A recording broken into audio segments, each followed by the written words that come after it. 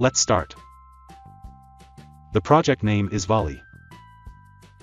Let's see the project structure. At the app level build.gradle file, write this plugin. Then, we have integrated the Volley library. In the manifest file, we have written the internet permission. Here we have the main activity.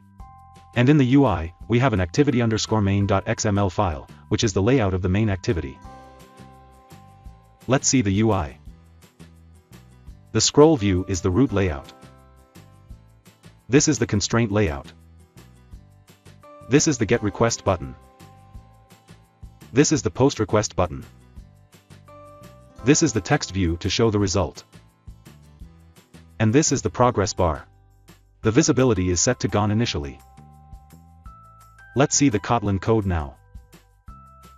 These are the imports. This is the main activity. These are the data members. In the onCreate function, first, we create a volley request queue. When the getRequest button is clicked, we call the getRequest function. When the postRequest button is clicked, we call the postRequest function.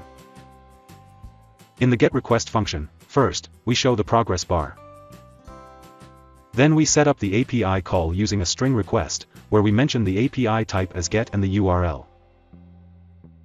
There are two callback functions, on response and on error response. In the callbacks, we stop the progress bar and fetch the data to show in the text view. Here we set a tag to the API call. Here we add our get request into a request queue.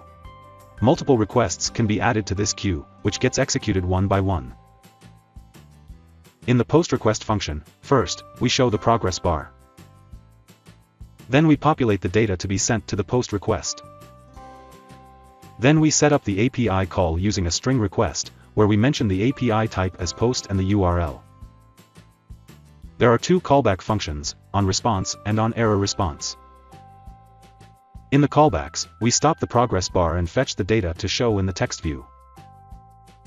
We send the data to the post request using this getBody function. Here we set a tag to the API call. Here we add our get request into a request queue. Multiple requests can be added to this queue, which gets executed one by one. In the onStop function, we cancel all the pending Volley API calls and hide the progress bar. Let's run the app.